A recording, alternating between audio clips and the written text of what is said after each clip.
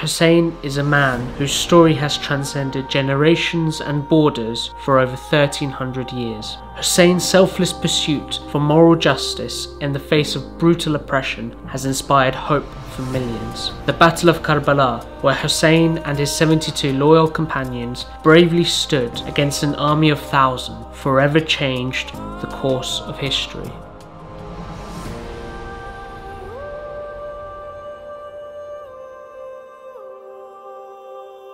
Hussein was born in 626 AD in the city of Medina to the noble family of the Prophet Muhammad. He was raised by a family renowned for their honesty, compassion, and justice. He was revered and celebrated by people from different walks of life. Every lover of truth and every lover of justice loved Hussein alayhi salam. And this, no doubt, began way back while they were in the holy city of Medina. The values that he adopted as a child were the values that he learnt as he grew up. And he grew up in the, the holiest of houses. He grew up with his grandfather, the Prophet. As a young child, Hussein witnessed his grandfather's struggle to establish a morally just and compassionate society.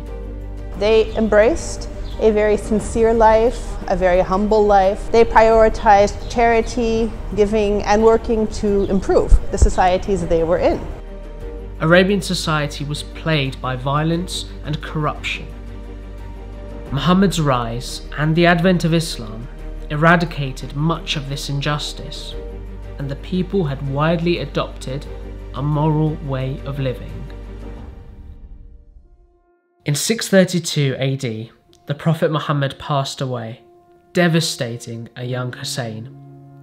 What followed after would impact Hussein in ways he could not yet comprehend. Shortly after the Prophet's death, the leadership of the newly formed nation fell into dispute. Divisions amongst the people emerged, and a violent power struggle fractured the nation for over 30 years, which led to a lengthy civil war between Hussein's father Ali ibn Abi Talib and Muawiyah.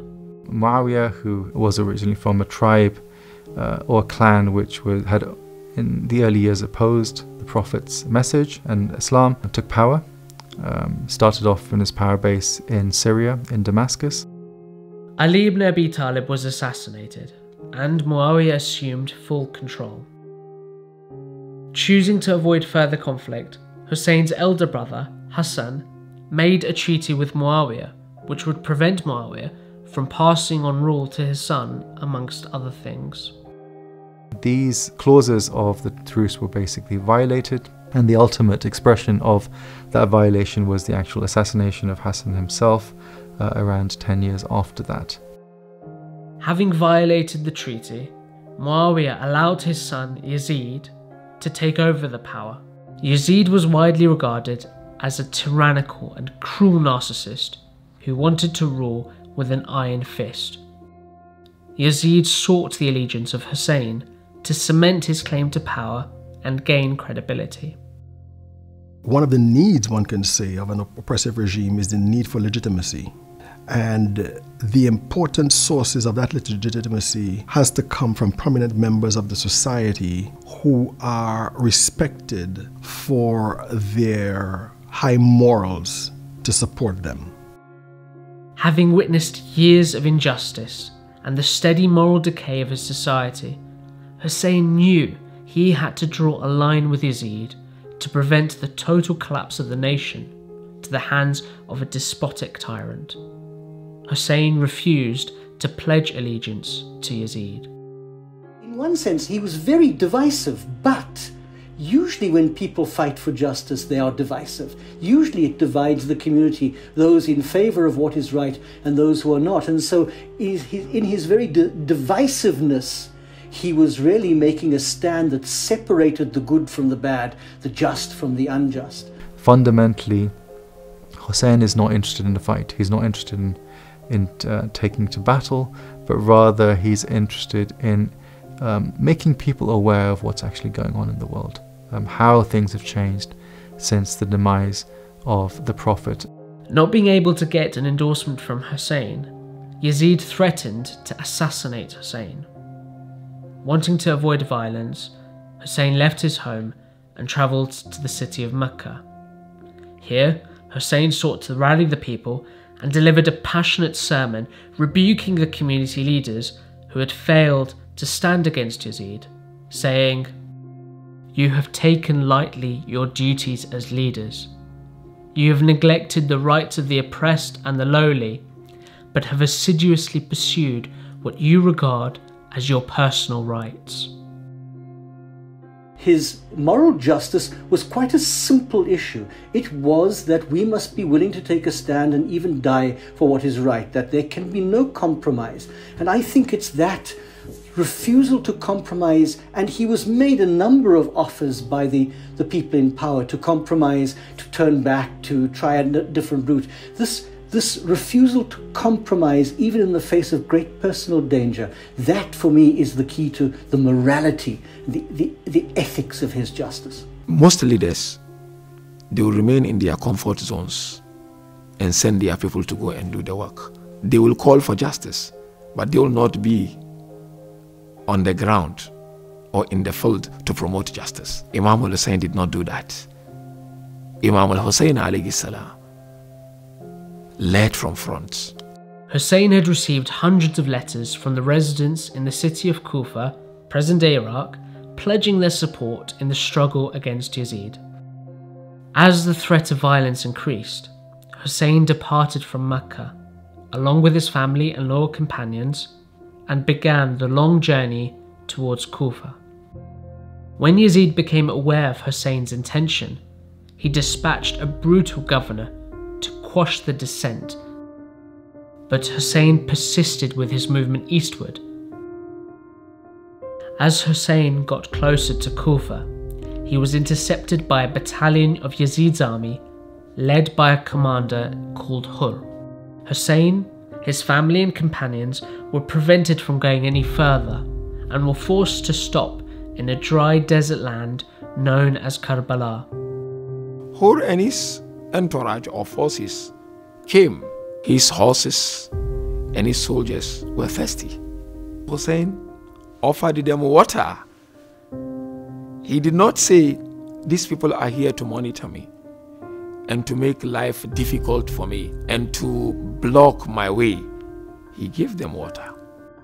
Hussein's selfless act of kindness was to be met in turn with a cruel response by Yazid's army who proceeded to surround Hussein's camp and cut off the water supply. Hussein, his family, and small army of around 72 were left thirsty for three days in the blistering heat. Hussein said something which rings very true for the human condition. He said, Human beings are slaves to the world. As long as our situation is fine, we have food, we have water, we have money, we have the basics. People will profess their beliefs, they will profess their religion on their tongues. But when people are tested, when people are tried, very few people remain who are sincere and devoted.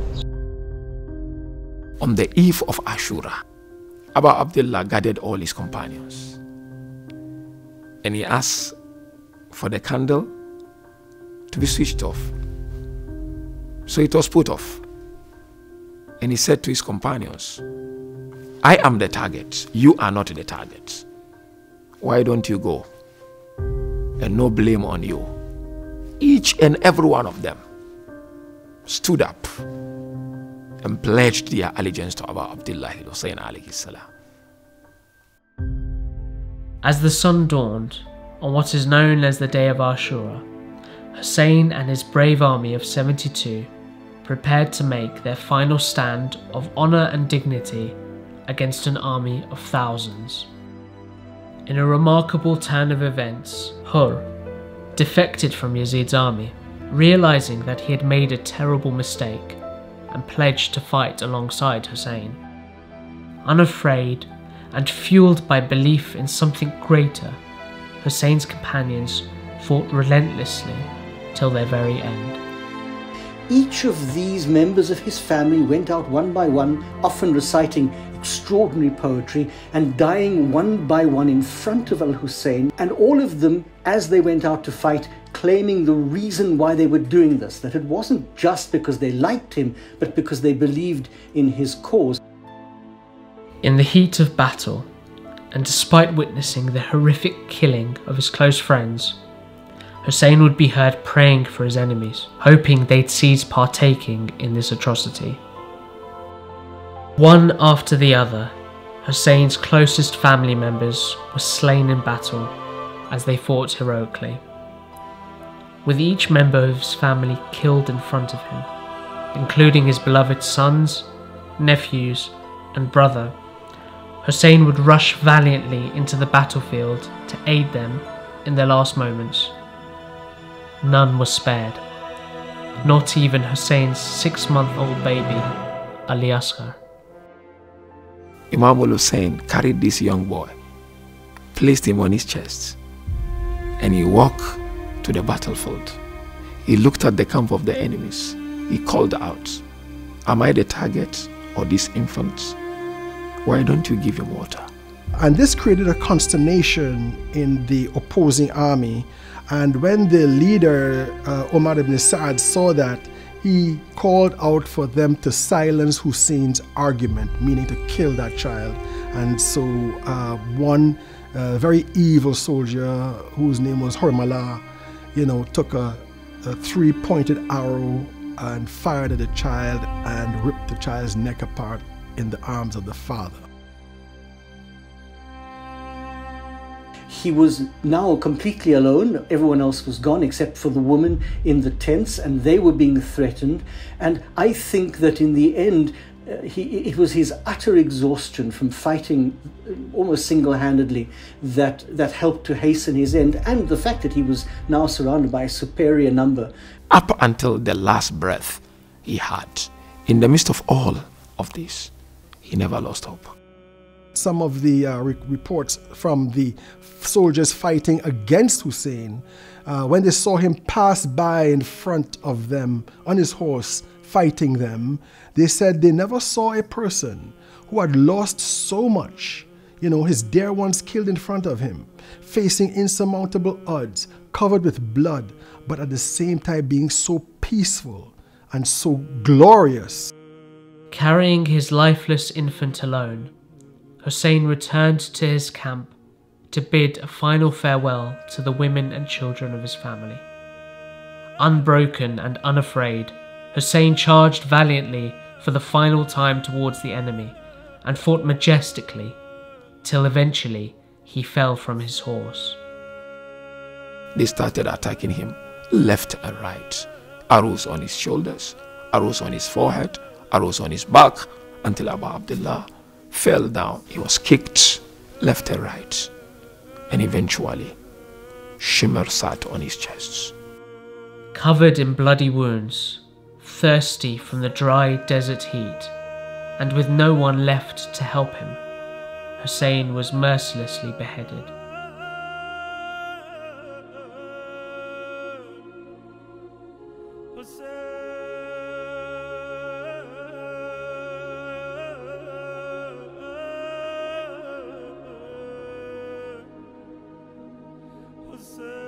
After the killing of Hussein, those who'd been killed were beheaded. The tents of the women were burnt. The women were, were taken as, as prisoners. The texts tell us that the women and the children were transported in a very um, brutal manner um, to the various leaders of the time, first of all to Kufa and then to Damascus, where they were humiliated and interrogated. But of course, it is the lady Zainab who cannot be separated from her brother, who keeps all of this alive and begins to retell the tale. And so it's it's a terrible time and it's the beginning of something absolutely wonderful. Following the tragic killing of Hussein, his sister Zainab carried the flag of Hussein's mission and became the moral support for the women and children who had been taken captive. Famously, when asked how she perceived what had transpired, she replied eloquently, I saw nothing but beauty. she makes these two famous protests against the citizens of Kufa and then um, against Yazid. Um, and, and, and she is famous that not only does she denounce his leadership and indict uh, him as a person, but she also, in those moments, begins the story of Karbala and ensures at that moment that the story will never be forgotten and that the lessons of Karbala will never be forgotten. Zainab's fiery speech in the courtyards of Yazid sent shockwaves across the nation as word spread of how Hussein and his small army were martyred in Karbala. Realizing his grave miscalculation, Yazid freed Hussein's family. Zainab, alongside Hussein's last remaining son, Ali Zain al Abidin, began to tell people of what happened in Karbala. This triggered a series of uprisings, which eventually led to Yazid's rule being dismantled. For a number of people, the commemoration of Hussein is also about this quest for justice and goodness in the world. And so the recounting of the story of what happened is then connected with um, accounts of oppression, of tragedy, and of brutality in the world that we have, and a hope and desire for something better. The story of Hussein has been remembered through generations every year as a source of empowerment in the fight for moral justice. How Hussein and his army of 72 were victorious against a tyrannical enemy through sacrificing their lives. 1300 years later, millions of people from all backgrounds flock to pay tribute to Hussein at his shrine in Iraq. Every time we stand up to fight and we are prepared to sacrifice everything for truth, we are like Hussein. The reason why people can aspire to be like Hussein is because he transcends religious borders and political borders. Justice is a human thing. All human beings, even non religious human beings, are bound by justice. The revolution continues. We have to create now a, a Husseini society, which is a society of justice and a society of, of brave people, you know, who are not afraid of fighting for truth.